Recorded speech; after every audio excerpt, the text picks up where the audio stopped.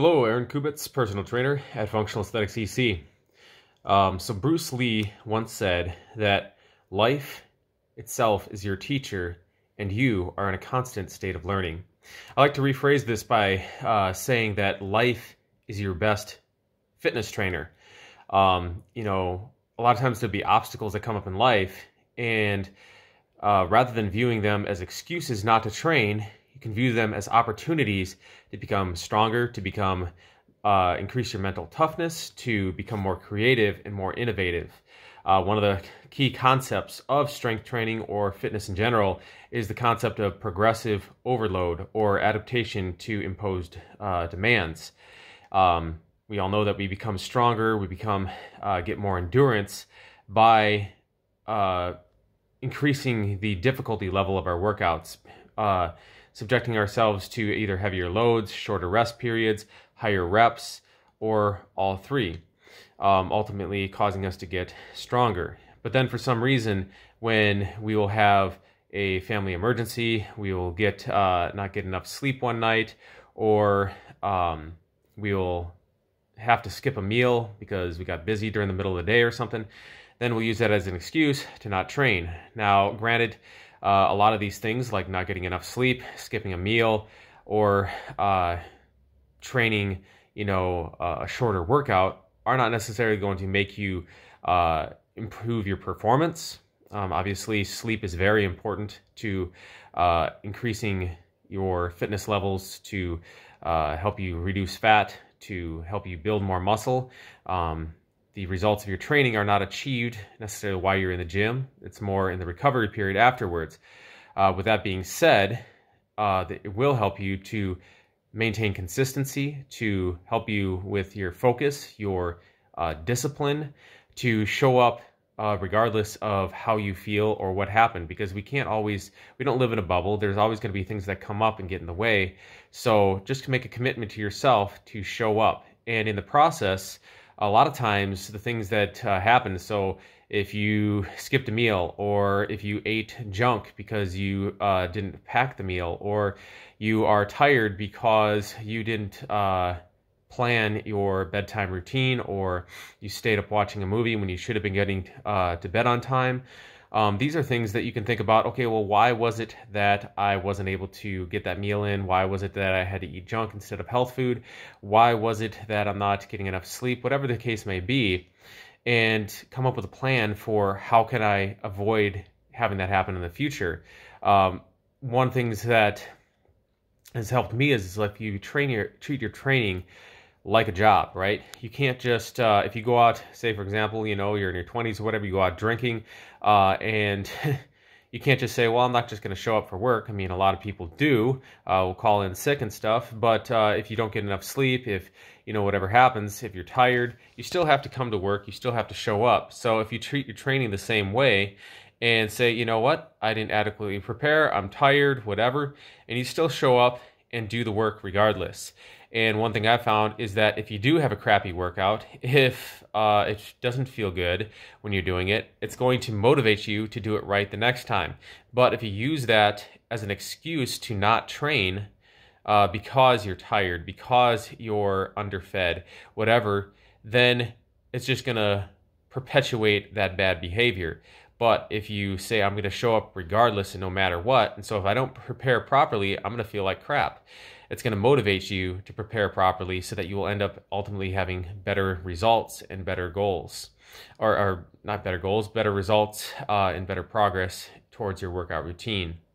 Um, another thing that i uh, like to think about is uh, in regards to nutrition. So talking about that a little bit in meal planning and stuff but another very important reason to eat healthy food is uh, because of how it affects your hormones. I'm a big proponent of the quality of nutrition over counting calories. Counting calories is important. Ultimately, in the end, if you eat too many calories, you're going to gain weight. If you eat too little calories, you're not going to build more muscle.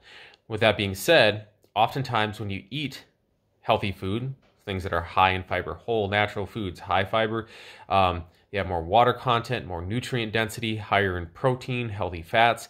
Uh, protein is very satiating, so if you're bal- uh, building all your meals around good quality protein, uh, you're getting your vegetables in, um, eating your complex carbohydrates rather than a processed sugary junk, it's going to be a lot easier to hit your calorie goals. And if you are in that deficit, uh, you're going to have a lot more strength than somebody eating the same amount of calories uh, in that deficit eating processed food.